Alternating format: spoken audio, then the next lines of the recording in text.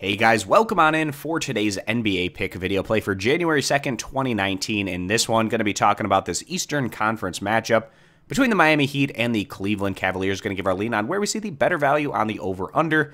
That total number pretty low here at just 206 points. Miami trying to grab this victory to get back to 500. They're one game below at 17 and 18, and they're taking out one of the worst teams in the East, the Cavaliers, at just 8 and 29 overall. And actually, these two teams went against each other over this past week. Miami coming through on their home court, taking down the Cavaliers in decisive fashion by final of 118 to 94.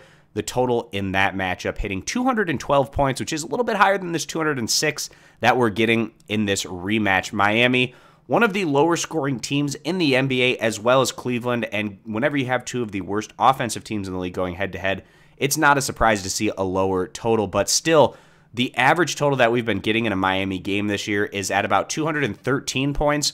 And then with the Cavaliers, their average total is also right in about that 213 to 214 range. So both of these teams, their average totals are quite a bit higher than this 206 points that we're getting.